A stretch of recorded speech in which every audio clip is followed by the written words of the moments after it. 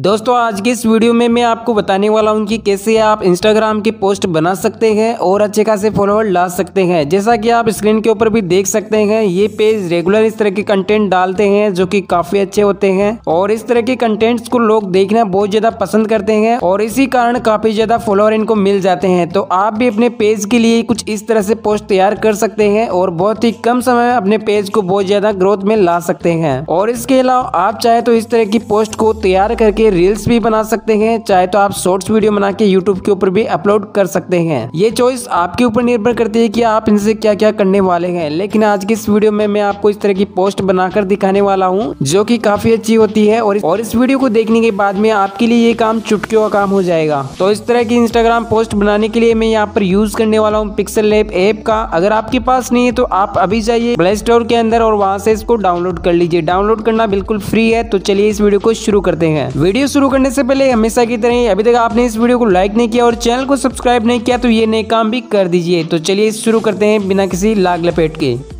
तो इस तरह के इंस्टाग्राम पोस्ट बनाने के लिए मैं यहाँ पर ओपन कर लेता हूँ अपनी पिक्सल ऐप ऐप को, जैसा कि मैंने यहाँ पर इंस्टॉल कर रखा है और ओपन कर लिया है। एंड उसके बाद में मेरे सामने कुछ इस तरह का इंटरफेस आएगा तो मैं सबसे पहले ये न्यू टेक्स वाला ऑप्शन आया हुआ है, उसको यहाँ पे मैं डिलीट कर देता हूँ। एंड उसके बाद में यहाँ पर थ्री डॉट पे जाऊँगा और उसके बाद में इमेज साइज़ अपन को लेना होता है। अपन लेंगे यहाँ पर चार रेशियो पाँच वाली इमेज साइज़ तो उसके लिए यहाँ पर देना होगा आपको एक हज़ार अस्सी तो मैं फटाफट यहाँ पर एक सिलेक्ट कर लेता हूँ। और यहाँ पर देना होता है और यहाँ पर देना होता है 1350 तो मैं फटाफट यहाँ पर 1350 दे देता हूँ। तो ये मेरा चार रेसियो पाँच वाले इमेज साइज़ में हो जाएगा कन्वर्ट और यहाँ पर इनको ट्रांसपेरेंट कर लेना है, जैसा कि मैंने यहाँ पे ट्रांसपेरेंट कर दिया है। उसके बाद में आपको जाना होगा कलर वाले ऑप्शन के ऊपर, जैसा कि मैं यहाँ पे कलर वाले ऑप्शन पे आ चुका हूँ। एंड यहाँ पर नीचे नीचे आप देख पा रहे हो ग्रिलेंट तो यहाँ पर ग्रिलेंट के ऊपर चलेंगे एंड प्लस वाले आइकन पे जाएँगे। उसके बाद में अपन को एक शेडो तैयार करना होगा। तो शेडो कुछ इस तरह से अपन यहाँ पे लेने वाले हैं। तो उसके लिए मैं यहाँ पर सेकंड वाला ले लेता हूँ। जैसा कि मैंने यहाँ पर सेकंड वाला ले लिया है। एंड उसके बाद में इनको कम ज़्यादा करना है। जैसे कि एक शेडो बनाना है। शेडो इसको यहाँ पर बीच में रखना है और उसको भी, ऊपर वाले को भी यहाँ पर बीच में रखना है ताकि ये यहाँ पर इनका शेडो तैयार हो जाए। तो अपने हिसाब से कम ज़्यादा कर लेना है। मैं आपको यही सजेस्ट करूँगा कि इनको ठीक से एडजस्टमेंट करना होता है। अब उसके बाद में इनके अंदर वाइट वाला कलर देना होता है तो उसके लिए यहाँ पर क्लिक करना होगा। यहाँ पर क्लिक करने के बाद में अपन चलेंगे कलर वाले ऑप्शन में तो यहाँ पर मैं व्हाइट वाला कलर यहाँ पर दे देता हूँ फटाफट। तो अपन ने यहाँ पे सिलेक्ट कर लिया है व्हाइट वाला कलर तो नीचे वाला जो शेडो का कलर है वो व्हाइट हो गया है। और ऊपर जो कलर देख पा रहे हो आप ब्राउन कलर, उसको हम रिमूव करने वाले हैं तो उसके लिए क्लिक करेंगे यहाँ पर। यहाँ पर क्लिक करने के बाद में फिर से चलेंगे कलर वाले ऑप्शन में। कलर वाले ऑप्शन में जाने के बाद में ये जो नीचे वाली लाइन है, उसको यहाँ पर ट्रांसपेरेंट कर लेना है। और उसके बाद में ओके कर देना है। ओके करते ही ये कुछ इस तरह से हो जाएगा। एंड यहाँ पर फिर से ओके कर देना है। एंड गाइज़ यहाँ पर आप देख सकते हो कुछ इस तरह की पीएनजी वाली फ़ोटो यहाँ पर तैयार हो चुकी है। तो अपन इसको गैलरी के अंदर सेव करेंगे। तो यहाँ पर अपन सेव कर लेते हैं इसको फटाफट। तो यहाँ पर पीएनजी रहने देना है। एंड यहाँ पर जो कस्टम वाला है, यहाँ पर अपन को अल्ट्रा कर लेना है।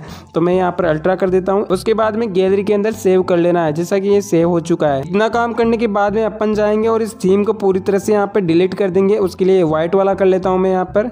तो ये पूरी तरह से डिलीट हो चुका है। डिलीट हो जाने के बाद में अपन तैयार करेंगे अब इंस्टाग्राम के लिए पोस्ट सबसे पहले यहाँ पर इमेज साइज़ सेलेक्ट करेंगे तो फिर से वही प्रोसेस करनी होगी। थ्री डेट थ्री डॉट पे जाएँगे, यहाँ पर इमेज साइज़ में जाएँगे और यहाँ पर कर देंगे एक हज़ार अस्सी।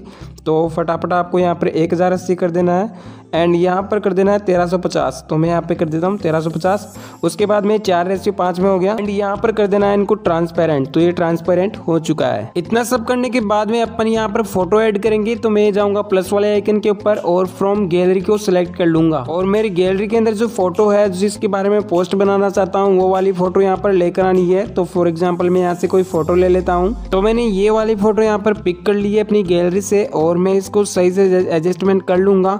जितनी मुझे रखना है, उतना यहाँ पर रख लूँगा। जैसे कि मैंने यहाँ पर कर दिया इस फ़ोटो को यहाँ पर रख दिया है। एंड अब लाएँगे जो अपन ने शेडो तैयार किया है, उस वाली फ़ोटो को लेकर आनी है। उस फ़ोटो को लाने के लिए फिर से जाएँगे प्लस वाले आइकन पे एंड यहाँ पर गैलरी को सिलेक्ट कर लेंगे। और यहाँ पर आ जाएगी वो वाली फ़ोटो तो मैं इसको सिलेक्ट कर लूँगा और ये सिलेक्ट करते ही कुछ इस तरह से आ जाएगी। तो अब इसको भी क्या करेंगे अपन, इसको सही से एडजस्टमेंट कर लेना है अपने हिसाब से। तो मैं कुछ इस तरह से कर देता हूँ। ठीक है गाइस यहाँ पर मैंने कर लिया है सिलेक्ट सही तरह से। उसके बाद में अपन इसके ऊपर कुछ टैक्स लिखने वाले हैं तो मैं टैक्स यहाँ पर पेस्ट कर देता हूँ। टैक्स के लिए जाएँगे टैक्स वाले आइकन पे, यहाँ पे मैं प्लस कर देता हूँ एंड यहाँ पर ये आ चुका है। उसके बाद में मुझे कुछ टैक्स यहाँ पर लिखने होंगे तो मैं फटाफट वो दे देता हूँ। तो वो वाला टैक्स मैं यहाँ पे पेस्ट कर देता हूँ तो मैंने यहाँ पे पेस्ट कर दिया है वो वाला टैक्स ठीक है? उसके बाद में अपन ओके कर देंगे। ओके करने के बाद में सबसे पहले इन टैक्स का कलर यहाँ पर ब्लैक कर देंगे। तो आपको भी यहाँ पर इनका टैक्स का कलर जो है ब्लैक कर देना है एंड इसको कुछ इस तरह से कर देना है। ठीक है तो यहाँ पर अपन चलेंगे और यहाँ पर एलाइगेशन पे जाएँगे और यहाँ पर इनको इस तरह से कर लेना है, यानी सेंटर में कर देना है। उसके बाद में अपन जाएँगे फ़ॉन्ट के ऊपर। इनका फ़ॉन्ट भी इनका चेंज करना होता है तो मैं यहाँ पे इनका फ़ॉन्ट भी चेंज कर देता हूँ यहाँ। डेज़ नाम का फ़ॉन्ट है, ये वाला फ़ॉन्ट यहाँ से ले लेते हैं तो अपन ने वो फ़ॉन्ट भी यहाँ पर बदल लिया है। तो इसको कुछ इस तरह से थोड़ी इनकी जो है साइज़ थोड़ी बड़ी कर लेनी है। तो मैं इनकी साइज़ थोड़ी बड़ी कर देता हूँ यहाँ से, ठीक है? तो अपन इनकी साइज़ भी थोड़ी बड़ी कर देते हैं ताकि ये पूरी इमेज के ऊपर अच्छे से आ सके। अब क्या करेंगे गाइस यहाँ पर अपन इनका कलर चेंज करने वाले हैं। तो कलर के लिए आप यहाँ पर एनजीओ का कलर कुछ रेड करना है। जैसा कि और उसके बाद में ये गवर्नमेंटल इसको थोड़ा ब्लैक ही रहना, रहने देना है। नॉन गवर्नमेंट जैसे कि यहाँ पे लिखा हुआ नॉन गवर्नमेंट इसका कलर कुछ अलग कर देना है, जैसे कि कुछ ये वाला कलर कर सकते हो।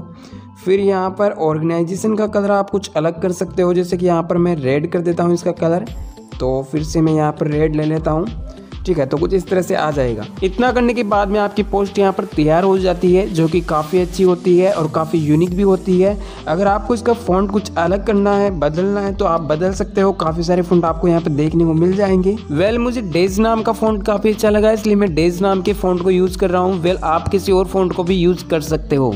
ये सब काम कर लेने के बाद में बारी आती है इस पोस्ट को सेव करने की। तो उसके लिए अपन जाएँगे सेव वाले आइकन पे एंड यहाँ पर क्या करेंगे? पीएनजी को पीएनजी में रहने देना है, उसके बाद में कस्टम वाले को यहाँ पर आपको अल्ट्रा में सिलेक्ट करना है, और उसके बाद में आपको सेव कर देना है। तो ये पोस्ट आपकी गैलरी के अंदर सेव हो जाएगी। अब चाहे तो आप इस पोस्ट को रील में कन्वर्ट करें, या फिर शॉर्ट्स वीडियो में कन्वर्ट करें, या फिर पोस्ट के रूप में ही इंस्टाग्राम के ऊपर पोस्ट करें। तो सब में ही चलेगी और सब में ही वायरल होगी। मुझे उम्मीद है कि ये वीडियो आपको पसंद है दोस्तों, आज के टाइम में यूट्यूब के ऊपर काफ़ी सारे लोग अपने वीडियो के ज़रिए पैसा कमाना चाहते हैं, लेकिन वो कमा नहीं पा रहे हैं। आखिर ऐसी कौन सी गलती कर रहे हैं जिसकी वजह से वो पैसा नहीं कमा पा रहे हैं? दोस्तों, सबसे बड़ी गलती तो वो ये कर रहे हैं कि अपने वीडियो को व्हाट्सएप के ज़रिए टेलीग्राम के ज़रिए, इन सब सोशल मीडिया के ऊपर अपने वीडियो को शेयर कर रहे हैं, जो की उन्हें नहीं करना चाहिए। तो दोस्तों, अगर आप अपने वीडियो को शेयर करना स्टार्ट कर देते हो तो हो सकता है एक बार आपकी वीडियो के ऊपर अच्छे खासे यूज़ आ जाए और कुछ वॉच टाइम भी आ जाए। लेकिन वो सब तो आ जाता है, लेकिन उसके बाद में आपके चैनल की जो हालत होती है ना, यानी कि मतलब यार वो आपका चैनल डेड होना स्टार्ट हो जाता है, और यार उसके बाद में आप अगर प्रीमियम क्वालिटी की वीडियो अपलोड करना स्टार्ट कर दोगे ना, तब भी आपका वीडियो वायरल नहीं होगा, क्योंकि आपका चैनल फिर डेड होना स्टार्ट हो जाता है, और आप ऐसे डेड चैनल के ऊपर काम करोगे तो यार कैसे पैसा कमा पाओगे?